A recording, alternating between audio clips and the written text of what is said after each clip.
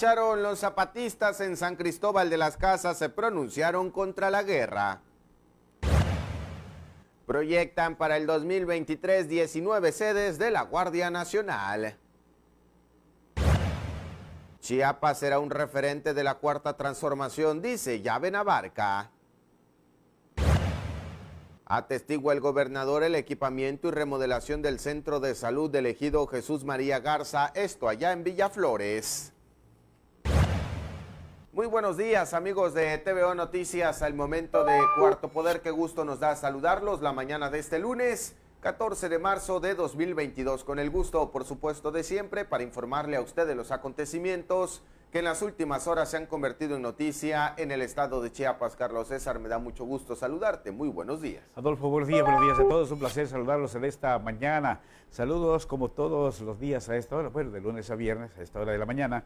Aquí nos ven a través de TV3 Cable Nexa en Suchiapa, canal 20 Cable Ilusión en Tepisca, Acintalapa y Jiquipilas. Vamos a la información porque la Secretaría de Salud de Chiapas da a conocer la notificación de 83 casos positivos de COVID-19 en las últimas horas, sin defunciones ocurridas.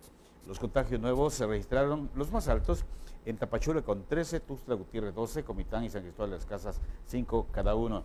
Las pruebas salieron positivas en personas de los diferentes grupos de edad, 47 mujeres y 36 hombres, de los cuales el 19% tiene comorbilidades como asma, diabetes, hipertensión, enfermedad cardiovascular, obesidad, insuficiencia renal, tabaquismo, enfermedad pulmonar obstructiva crónica y, e inmunosupresión.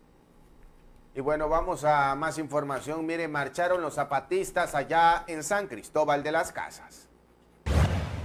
Le comparto esta información que nos envían nuestros compañeros desde aquella zona y es que básicamente fueron eh, miles de integrantes del Ejército Zapatista de Liberación Nacional los que realizaron una movilización pacífica allá en San Cristóbal de las Casas para pronunciarse en lo que ellos llamaron, en contra de lo que ellos llamaron las guerras capitalistas. Así lo definieron. Estamos hablando de que esta movilización se llevó a cabo en seis municipios de Chiapas y sus caracoles. En un comunicado, el EZLN dijo que no solo es en Ucrania, también en Palestina, en eh, Kurdistán, en Siria, en el pueblo mapuche, los pueblos originarios en todo el planeta, y tantos y tantos procesos libertarios que son agredidos, perseguidos, asesinados, silenciados y además distorsionados.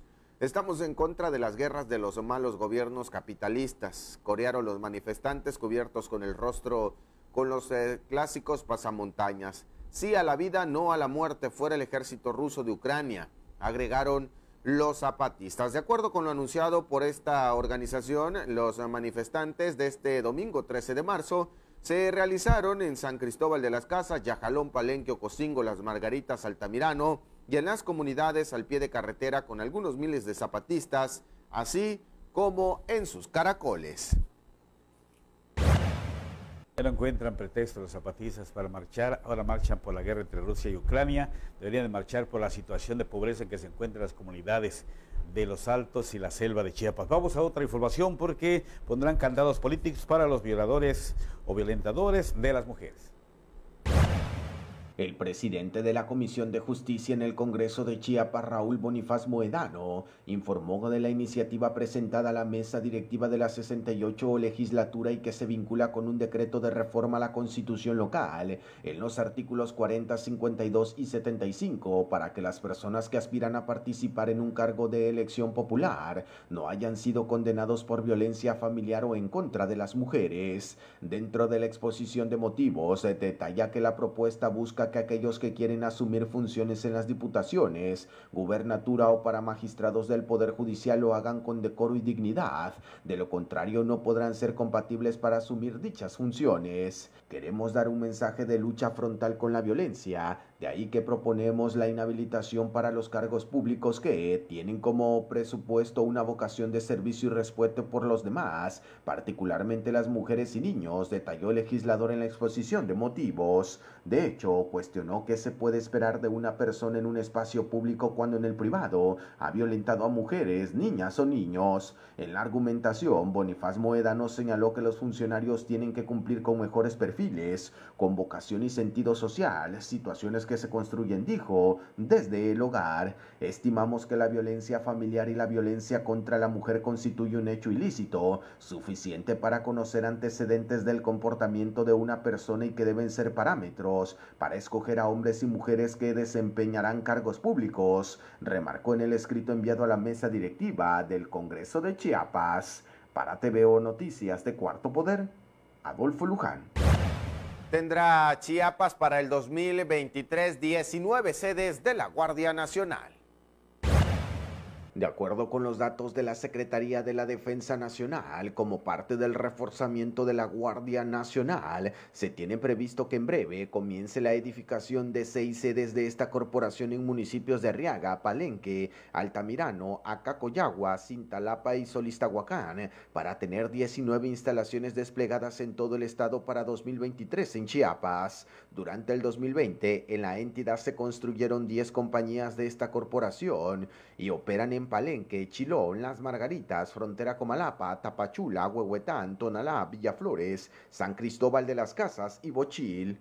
De acuerdo con la información de la Sedena, son más de 3.400 elementos de esta corporación que realizan labores de seguridad en Chiapas. Es importante señalar que en temas de seguridad, se informó por parte de la Secretaría de la Defensa Nacional que todas las fuerzas han asegurado entre el 1 de diciembre de 2018 y el 8 de marzo de 2022 un promedio de 15.368 kilogramos de cocaína y más de mil kilos de marihuana. Para TVO Noticias de Cuarto Poder, Adolfo Luján. Otro tema, los precios de la carne sigue subiendo.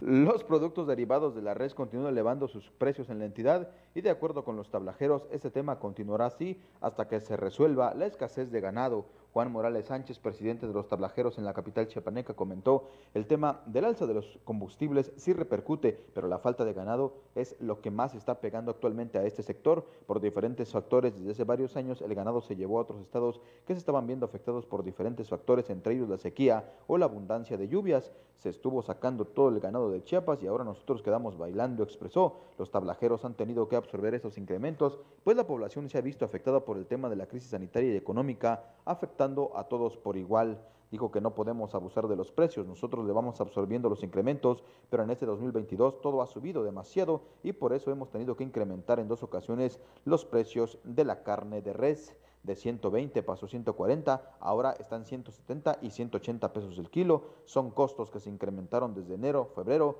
aunque en los centros comerciales todavía está más caro, remarcó. Para TVO Noticias de Cuarto Poder, Rodolfo Flores. Imagínese, ya es un lujo prácticamente comer carne, un kilogramo hasta en 140 pesos. ¿Y para cuántos alcanza? Imagínese, así de, de, preocupante está la situación en algunos sectores. Permítame ahora comentarle pues estas actividades que se tienen preparada en la semana gastronómica.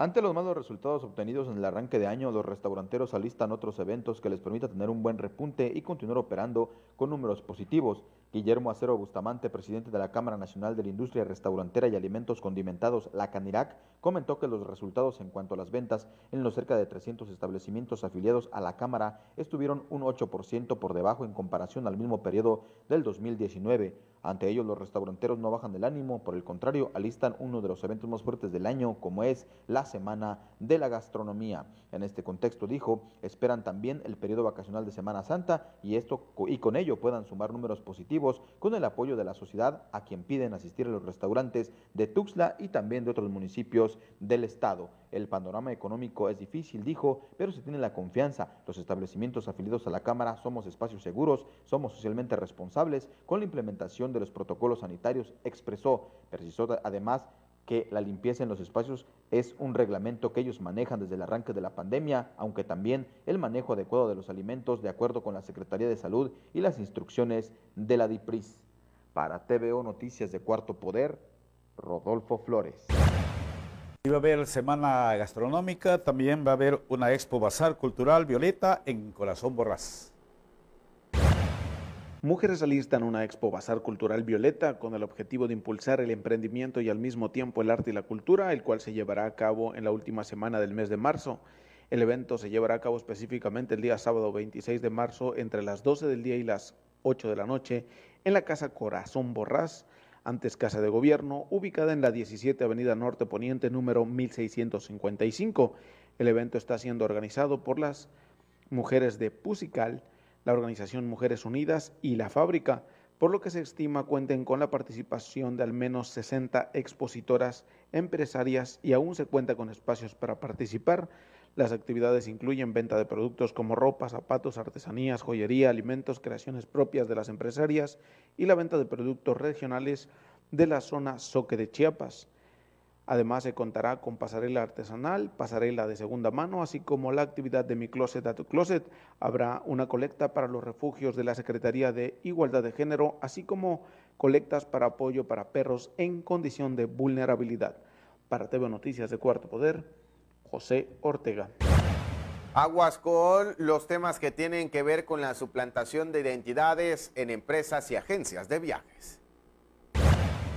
En los últimos años, el fraude con la suplantación de nombres de agencias de viajes en Chiapas y a nivel nacional se ha convertido en un problema grave que afecta en gran medida al sector turístico. Mari Carmen Ponce Robles, presidenta de la Asociación Mexicana de Agencias de Viajes Filial Chiapas expuso que este es un tema más grave de lo que parece y no debe tomarse a menos. Indicó que este tema se agudiza en los meses previos a los periodos vacacionales, como este mes que es la antesala de la Semana Santa y también las vacaciones decembrinas. Son en estos tiempos cuando más páginas aparecen, cuando más fraudes se dan, agencias comienzan a hacer de las suyas. Eso es de suma importancia que la gente conozca para que tenga precaución y no caiga en este tipo de fraudes. Expuso que este es un cáncer que al paso del tiempo va empeorando los fraudes. Incluso el presidente presidente de la MAB Nacional ha estado trabajando por dos años con la Policía Cibernética, logrando que por lo menos se pueda dar un seguimiento hasta las últimas consecuencias, ya que antes no pasaba nada. Se requiere, dijo, de un trabajo duro para irlo sacando de la jugada, pues no se vale que estén haciendo esto y estén defraudando, ya que abren otras páginas y luego otras y así se van.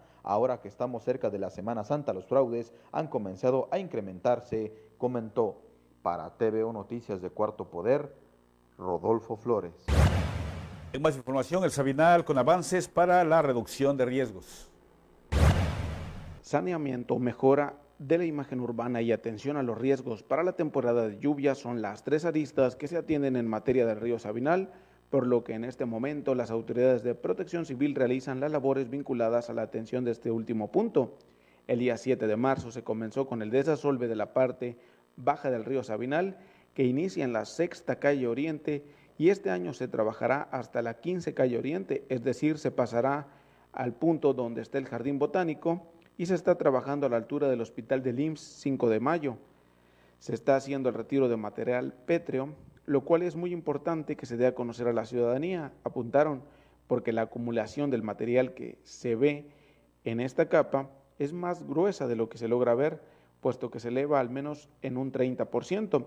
El trabajo es sacarlo, trasladarlo a un campo de tiro que está en San José Terán, el cual se hace un recorrido de aproximadamente dos kilómetros que ocupa al menos entre una hora y media y dos horas para cada vehículo y en el trayecto se tiene una logística ya programada de la obra que contempla desde su inicio en marzo y se estima para finales de abril que toda esta zona esté limpia. Una vez que la maquinaria tenga el material acumulado y una de las maquinarias se dedique a sacar con la pala mecánica el material y colocarlo en el volteo, una más de las retroexcavadoras estará avanzando en el río en sentido al Parque del Oriente. La zona de este parque es un área virgen que no se ha trabajado desde que se ampliaron los puentes, pero se ha colaborado de manera coordinada por parte de varias autoridades para revisar la acumulación de material en donde están los cambios de dirección del río, por lo que las pequeñas islas de material se van a retirar sin dañar a la naturaleza. Para TV Noticias de Cuarto Poder, José Ortega. No nos cansemos de hacer el bien, esto lo señaló el arzobispo de Tuxtla Gutiérrez en su conferencia de prensa de cada domingo. Tras reconocer que el mundo está en crisis, pero desde el punto de vista del por qué se está en crisis, es necesario reconocer que en la medida en que sacamos a Dios de nuestra sociedad, pues en esa medida nos volvemos más violentos, destacó el arzobispo de Tuxtla Gutiérrez, Monseñor Fabio Martínez Castilla. Apuntó que mientras más difícil es la guerra, más paz hay que tener, por lo que consideró que ante la dificultad de que cada vez la vida es más riesgosa, hay que tener más paz. Por eso dijo que la fuerza no es aumentar las voces de violencia ni tomar partido, sino que se tiene que fomentar la oración y el acercamiento a Dios. Al referirse a las manifestaciones del 8 de marzo, dijo que le ayudan a entender a la sociedad el grado de descontento e indignación que existe debido a las persistentes desigualdades respecto a los varones y a la violencia que se expresa contra las mujeres en diversos espacios, como la familia, el trabajo, las escuelas, las comunidades e incluso la iglesia. Sin embargo, se cuestionan acerca de si adoptar expresiones violentas sea el mejor camino para avanzar en el reconocimiento de los derechos de la mujer. En este mismo contexto, Monseñor Fabio Martínez dio a conocer que el próximo 19 de marzo se celebrará el 30 aniversario de Caritas de Tuxtla. Carita, en latín, caridad, es una institución de la Iglesia Católica dedicada al servicio de la caridad, el desarrollo humano integral y la ayuda humanitaria. Está presente en más de 160 países y es muy notoria su presencia, sobre todo en los momentos de emergencias por desastres o por crisis humanitarias en todo el mundo. Para TV Noticias de Cuarto Poder, José Ortega. Chiapas es el cuarto estado con más ingresos de pacientes con diabetes tipo 2. La Secretaría de Salud Federal a través de la Dirección de Vigilancia Epidemiológica de Enfermedades No Transmisibles informó que Chiapas fue el cuarto estado en el país en presentar las cifras más altas en el 2021 en relación al número de pacientes que ingresaron a los hospitales con diagnóstico de diabetes mellitus tipo 2. La información detalló que Tabasco, Querétaro y Jalisco fueron las tres zonas que registraron el mayor número de pacientes con dicha enfermedad. En el informe trimestral de vigilancia se detalló que de los 21.538 casos notificados en 2021, el 97.23% se presentó en la Secretaría de Salud. Los datos revelaron que el 46.75% de los pacientes con esta enfermedad tuvieron como antecedente familiar que sus padres padecían diabetes. El sistema de vigilancia confirmó que el 85.98% de los pacientes mencionaron que no hacían actividad física en el día, solo 3.019 confirmaron que sí. Se le suman que 2.177 personas tenían tabaquismo activo, mientras que 1.155 revelaron tener alcoholismo. Para TVO Noticias de Cuarto Poder, Adolfo Luján. ¿Cuáles son las consecuencias que genera el estrés en temas de salud? Aquí mi compañero William Chacón nos presenta un reporte. La psoriasis es una enfermedad inmunológica que provoca daños en la piel, que se relaciona directamente con el estrés porque tiende a brotar durante estos periodos, pero es hereditario o genético. Se estima que en México la padecen 2.5 millones de personas, 25% moderada, 70% leve y 30% de moderada a severa. El médico general Abraham Velázquez indicó que los daños en la piel se presentan como descamaciones en zonas específicas, como axilas, codos, rodillas, en la cara, el cuero cabelludo y otras zonas. Es importante que desde los primeros síntomas se acuda al médico para suministrar un tratamiento. Se trata de un padecimiento multifactorial. Algunos especialistas refieren que se presenta en un sistema inmunológico hiperactivo que causa un aumento de la renovación celular en la superficie de la piel. Suele presentarse en personas con una predisposición genética, lo que significa que es hereditaria. Con frecuencia comienza en la edad adulta y suele tener brotes en periodos de estrés, pero este no es una causa específica. Lo que provoca es que se exacerben más las lesiones en la piel al ser una enfermedad inflamatoria. Asimismo, hay otros factores que desencadenan los brotes. Para TVO de Cuarto Poder, William Chacón. Vamos a más información. Existe amplia presencia de mujeres en el sector agroalimentario. En México, 992 mil mujeres trabajan en el sector primario en actividades como agricultura, ganadería y pesca. De acuerdo a la Secretaría de Agricultura y Desarrollo Rural, el mayor porcentaje de mujeres en actividades primarias se ubica en Oaxaca, Puebla, Chiapas, Veracruz, Guerrero y otros. De las mujeres que trabajan en el sector primario, el 83.9% lo hace en la agricultura, 13.3% en ganadería, 1.1% en pesca y 1.7% en otras actividades. Destacan también en porcentaje con más mujeres en estos sectores Hidalgo, Michoacán, Jalisco, Sinaloa y otros. Según datos del Servicio de Información Agroalimentaria y Pesquera, el 64% de las mujeres rurales tienen entre 14 y 64 años, 27.1% de 0 a 13 años y 33.9% de ellas tienen escolaridad primaria, mientras que el 30.5% cuenta con nivel secundaria de la población hablante de lengua indígena reporta que las mujeres representaron poco más de la mitad, con el 51.4%, y de ellas el 60.02% vive en localidades rurales, lo que equivale a 2.3 millones. Señala que 96.7% de las mujeres rurales trabaja y realizan otra actividad, como los quehaceres domésticos, cuidado de otras personas, acarreo de leña y agua, trabajo comunitario, asistencia a la escuela o mantenimiento del hogar, entre otras. Para TVO de Cuarto Poder, William Chacón. Mire hasta dónde se lleva a cabo pues este enfrentamiento entre Ucrania y Rusia y que podría dejar afectaciones en el precio de los granos.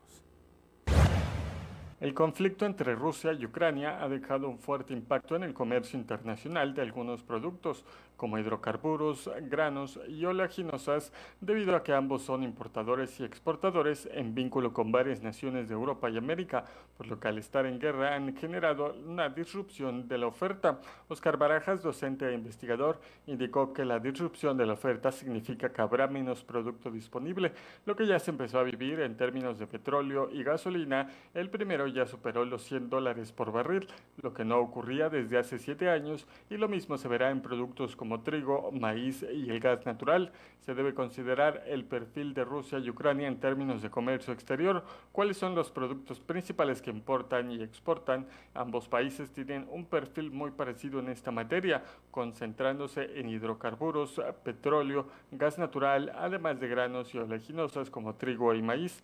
Los efectos del conflicto se comenzaron a ver desde los primeros días con los bloqueos y sanciones que impusieron varios países a Rusia. En el caso de Ucrania, al estar en conflicto ha dejado de producir, por lo tanto, e importar y exportar productos. Para TVO de Cuarto Poder, William Chacón. Chiapas será un referente de la cuarta transformación, dice el diputado federal Jorge Luis Llaven Abarca. El diputado federal Jorge Luis Abarca reconoció el compromiso del presidente Andrés Manuel López Obrador de supervisar personalmente e impulsar megaproyectos de infraestructura que contribuirán al desarrollo y progreso de la región sureste. Destacó que en la gira de trabajo del presidente se anunciaron importantes obras que beneficiarán al pueblo de Chiapas y que serán un detonante económico y turístico con la modernización de las vías de comunicación.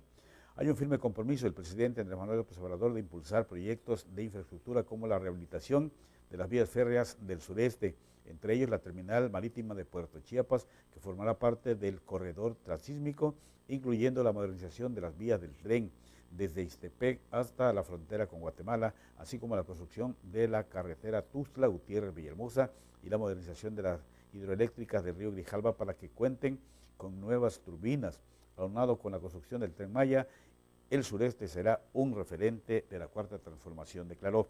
Resaltó que con el impulso de estas obras habrá sin duda mejores condiciones de acceso entre cada uno de los estados del sureste, lo que permitirá una importante derrama económica que se traducirá en escenarios de inversión y progreso. Vamos a más información. Mire, el gobernador atestiguó pues esto que tiene que ver en materia de salud, el equipamiento de un espacio de salud allá en Villaflores. Le platico esta información interesante y es que con la reconstrucción del Centro de Salud del Ejido Jesús María Garza en el municipio de Villaflores, se está brindando justicia social y se concreta un largo anhelo de los habitantes de esta comunidad, quienes después de muchos años cuentan con instalaciones modernas, funcionales, dignas y de calidad a fin de recibir los servicios médicos que satisfagan sus necesidades en materia de salud sin distinción ni condición alguna, afirmó el gobernador Rutilio Escandón Cadenas. El mandatario expresó que gracias a la suma de esfuerzos es posible que el pueblo disfrute de los beneficios del presupuesto público. Muestra de ello es esa obra que desde su construcción no había recibido el mantenimiento adecuado y ahora tras una remodelación a fondo, cuenta con consultorios cómodos y con suficientes insumos, medicamentos y equipos de alto nivel tecnológico. Lunes 14 de marzo de 2022, portada y contraportada del periódico Cuarto Poder del día de hoy. Modernizan centro de salud en el municipio de Villaflores. Proyectan construir 19 cuarteles de Guardia Nacional en Chiapas. El conflicto de Rusia encarece el maíz, el trigo y el gas. En Tuzla, a dos turnos laboran en doble paso a desnivel. La Secretaría de Salud es referente el modelo para atención del VIH. Protesta el STLN con o contra las guerras capitalistas. En la contraportada, aquí Tuxtla Gutiérrez, por tratar de escapar, arrolla y mata a un motorista. En la sección de opinión, hoy está su servidor Carlos César Núñez, mi compañero Ciro Castillo, Julio Hernández López, Maestro Catón y Rafael Loret de Mora. Portada y contraportada del Cuarto Poder de hoy, lunes 14 de marzo de 2022. Empató la América con las Chivas, perdieron los Pumas con el Cruz Azul, ganó el Monterrey, y fíjate que un, tema del partido del viernes que ganó el Necaxa finalmente un gol por cero, me llamó la atención y me puse a investigar. El gol lo mete un muchacho que se llama Heriberto Jurado, de 17 años. Es originario del ejido Aguacatlán, municipio de Cacahuatán, Chiapas. Mira. Debutó el año pasado en el Necaxa, ya metió su primer gol y le da el triunfo. Qué, qué bueno por él, ¿no? Así por, es. Por el, por el fútbol chiapaneco. Otro chiapaneco más. El tema del, del, clásico, el primer tiempo bastante aburrido, los dos equipos flojos, medio se puso entretenido después de la expulsión de, de Jonathan, que yo creo que en cuanto sintió la patada, ¿no? Se ve donde él se toma el rostro, sabe que lo van a expulsar. No ha tenido un buen torneo Juega como todo el equipo. Y entra para que lo expulse. Pero bueno. Vamos a más de la información deportiva. Cafetaleros de Chiapas preservó su calidad de equipo invicto en el Clausura 2022 y sumó un punto como visitante tras empatar sin goles contra Lobos en duelo de la jornada 9 de la Liga Premier Serie A, efectuado en el estadio Miguel Alemán Valdés de Celaya, Guanajuato. Fiel a su estilo de juego, el cuadro que dirige Miguel Ángel Casanova intentó manejar el balón, darle circulación de un extremo a otro del campo y así encontrar la mejor opción frente al marco guanajuatense. Al paso de los minutos, el encuentro se fue trenzando más en una batalla física y las opciones de peligro fueron contadas. Con el duelo subiendo en intensidad, los chapanecos sufrieron la expulsión de recién ingresado Roberto Meneses por una plancha sobre un jugador licántropo al ir a disputar un balón dividido a las afueras del área.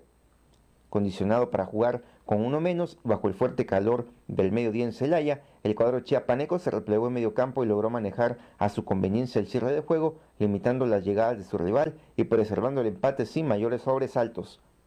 Con el resultado, el equipo cafetalero llegó a 20 puntos, que los tienen aún en zona de liguilla, pero cede en la primera posición del grupo 2 frente a Interplaya del Carmen, que llegó a 22 unidades en esta fecha.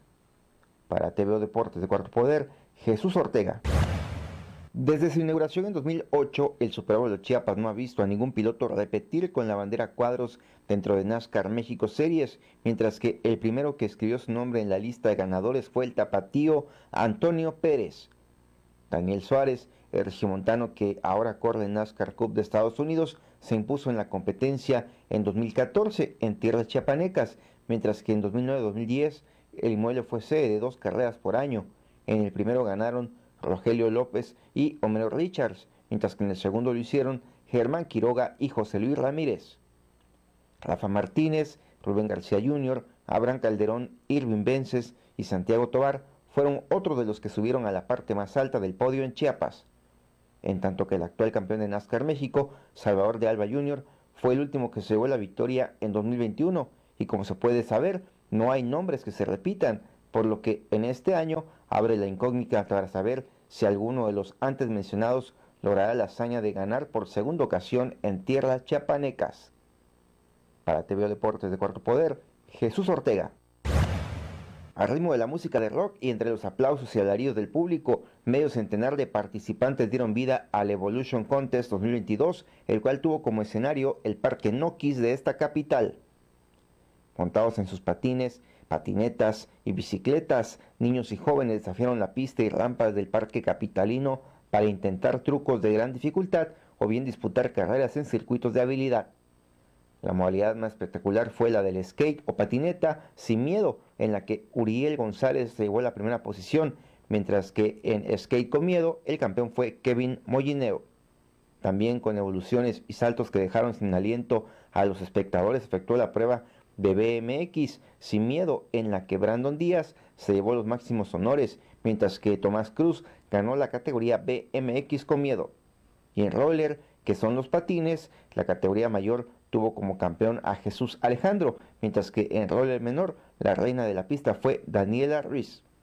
Para TV Deportes de Cuarto Poder, Jesús Ortega. El equipo femenil de Tornados de Tuxtla se coronó campeón del estatal selectivo federado de la categoría 2007-2008 luego de vencer a Cuervos de Tuxtla 57 puntos a 32. La final se disputó sobre la duela del auditorio tuxleco profesor Efraín Fernández Castillejos. Ahora, el cuadro dirigido por la entrenadora Elena Garrido Domínguez será la base de la representación chiapaneca que competirá en la Olimpiada Nacional Federada, que se efectuará en el estado de Hidalgo durante el mes de julio próximo. Después de tres intensos días, Tornados y Cuervos se citaron en la disputa por el cetro, en un juego que fue sumamente reñido. Sin embargo, poco a poco, las dirigidas por Garrido Domínguez consiguió manifestar su dominio y después de dos cuartos oficiales, la ventaja era de 10 unidades a su favor. En la parte final y debido al cansancio que conlleva competir de manera ininterrumpida día tras día, Cuervos aprovechó que sus rivales bajaron el ritmo, pero no fue suficiente, pues la diferencia de unidades fue crucial. En este aspecto, la entrenadora indicó que la victoria se debió al gran trabajo realizado de años atrás. Así es. Para empezar, que las niñas son una categoría menor. Eh, cuando entramos a este torneo nos inscribimos, fui muy clara con ellas. Eran juegos de preparación para nosotros con rumbo a otro evento que se aproxima para ellas. Entonces decidimos echarlo todo, todo, el, todo la carne al asador y pues ahorita les estoy diciendo a mis hijas, me siento orgullosa de ellas. Eh, tal vez llegué a, pensar que no se iba a lograr por un momento por la categoría, pero pues el resultado se dio, se aferran, entrenamos mucho, trabajamos mucho, llevamos seis años en este proceso y pues creo que ese es el resultado. Por su parte, Diana Amezcua Echeverría, directora general del Club Basket DAE y anfitriona del evento, reconoció la gran labor realizada por los equipos, destacando la participación de nuevos conjuntos, lo que sin duda alguna motiva para continuar laborando en divisiones menores. Sí, yo, yo siento que el nivel se mejoró bastante, eh, se ve con claridad que los clubes han trabajado con mayor intensidad, entonces hay que reconocer cuando se ha trabajado y también hay que reconocer cuando se cometen errores. Hablo dentro del juego. En el Congreso se dieron las sedes, eh, yo solicité esta sede para que fuera esta categoría 2007-2008 y afortunadamente tuvo mucho, mucho el apoyo de los padres de familia. Sin ellos yo no hubiera podido hacer nada. De mano les agradezco a Coach, a Chivas, por haberme permitido ser sede de este evento. En resultados finales, Tornados de, de Tuxtla obtuvo el campeonato. Cuervos se quedó con el segundo lugar, mientras que Basket Dae fue tercero. Las monarcas serán la base de la representación estatal con siete jugadoras. Posteriormente se hará un filtro para complementar al equipo de manera general. Para TVO Deportes de Cuarto Poder, Freddy Manga. Una fecha diferente fue la que se vivió este domingo 13 de marzo sobre la pista La Bondad, pues pilotos de la Asociación Chiapaneca de Motociclismo, ACHMAC, compartieron espacio con los integrantes del Motoclub del Sureste MX, lo que hizo lucir más el certamen. En este sentido, René Constantino Pérez, comisionado estatal de la especialidad, especificó que se logró reunir a las agrupaciones motorizadas y así ver un evento diferente sobre la pista tuxtleca. Fuimos, eh, lo que es mi hijo y yo, fuimos en una fecha a Ciudad del Carmen y allá hubo la oportunidad de poder entablar una plática y, este, y darle un poquito más de auge al, al deporte en Chiapas, eh, que no hay necesidad de tener dos grupos, sabiendo que con uno podemos hacer un mejor equipo a, a nivel eh, regional o nacional. Y, y, básicamente pues siempre ha habido apertura de, de diálogo y, y puesto que con eso pues aquí estamos ahorita. ¿Esto será un parteaguas para que en las próximas fechas pudieran continuar trabajando o se dará únicamente aquí en Tuxtla? No, todo el, el, campeonato estatal ellos lo van a seguir con nosotros. El, el, campeonato lo sigue organizando la Asociación Chapaneca de Motociclismo y ellos van a participar. En algún campeonato regional que podamos ir, pues lo vamos a ir eh, como equipo, como el equipo Chiapas. De hecho, yo los he acompañado, bueno, los acompañé a una fecha a Toluca, a un campeonato nacional. No llevé a mi hijo a correr, pero fui apoyando al equipo y posiblemente vayamos a la siguiente fecha este, del campeonato nacional. Estamos en eso todavía. Relativo a la carrera, Constantino Pérez comentó que la fecha oficial debió retrasarse una semana, pues se efectuó un evento en Ciudad del Carmen, Campeche, al cual asistieron pilotos de la entidad. Eh, hicimos un cambio de fecha, eh, movimos una semana porque se juntaba con un regional y para darle opción a los pilotos a que puedan participar en ambos eventos, pues se nos hizo más fácil a nosotros poderla mover. Entonces, eh, y ahorita se están sumando algunos otros pilotos que, que, corrían en otro campeonato estatal acá y ya están unificando a la, a la Asociación Chapaneca de Motociclismo y pues estamos tratando de hacer la fiesta más grande. ¿Cuántos pilotos se dieron cita hoy? Ahorita 50 pilotos. Faltaron algunos, la verdad que por haber movido la fecha, pues algunos tenían compromiso. Y, también te aviso, la tercera fecha también tenemos por moverla porque nos cayó en Semana Santa. Entonces eh, el, año pasado la hicimos casi igual, pero Semana Santa eh, eh, no era en esa fecha, entonces es lo que no, nos fijamos. Entonces estamos en plática sobre eso y ya les haré llegar la información. En total, medio centenar de corredores pertenecientes a las categorías infantiles, novatos, intermedios y expertos recibieron la orden de salida en el arrancadero oficial de la pista La Bondad en Tuxtla Gutiérrez. Para TVO Deportes de Cuarto Poder, Freddy Manga. El mapa de Chiapas aparece en colores celeste, verde, amarillo, naranja y blanco. Nos indica temperaturas bajas en la región del Soconusco y la parte en verde, temperaturas moderadas se va a presentar en la región de los Llanos.